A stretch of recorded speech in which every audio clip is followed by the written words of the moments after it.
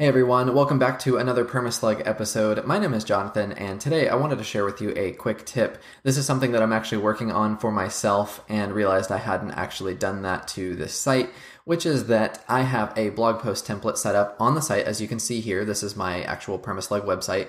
And this is a written review for a new gaming desk that I bought myself for Christmas, along with a couple other goodies like a monitor stand and a boom mic arm. Uh, but basically, I added some images to the inner content in the actual back end of the WordPress post editor. And what you'll notice is I set the image width to be the full size, and it looks good in the back end here. But in the actual front end of Oxygen, the image is stretched because the image is way bigger than my page width, which I think is set to default at like 1120 pixels. So you'll notice the image stretches improperly, and of course, you wouldn't actually want that. So this is super simple to fix. This is one line of CSS, and I'll just show you in the Chrome inspect tool real quick how you can actually fix that. So by default, the max width is going to be set to 100%, but we need to add one more thing, which is a height of auto. So if you just add the CSS height auto, then you can see the image is now fixed and it stretches and looks good. So it's a little bit big, but I'd rather the image be full width here in the inner content rather than too small and kind of look a little goofy. Uh, but you can see then that basically applies to all the rest of the images on my page there. So that's really easy to add. But of course, if you refresh, that's not going to actually fix it. So we need to go into an Oxygen template and add that CSS to our style sheet. So in this case, I'm just going to go to edit all post template and we'll go from there.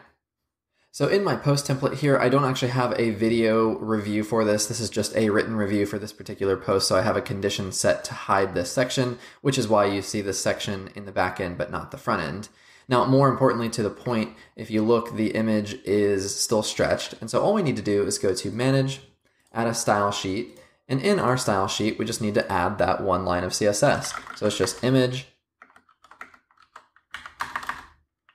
height, auto. Simple as that. And you can see it already updates for us in real time. Now, the thing about adding the style sheet is that that is going to load the CSS across the entire site.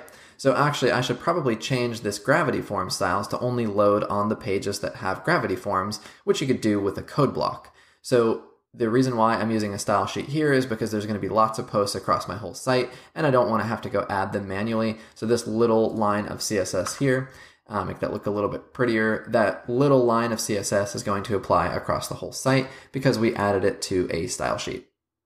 So let's save and take a look at this on the front end now. And so there we go.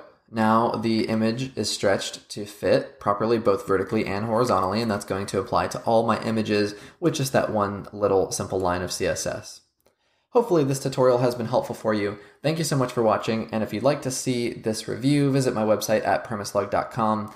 And full disclosure, these links are affiliate. That never increases your price, but it does give me a little kickback. I really appreciate you supporting me in that way. Thank you so much for watching, and I'll see you in a future video.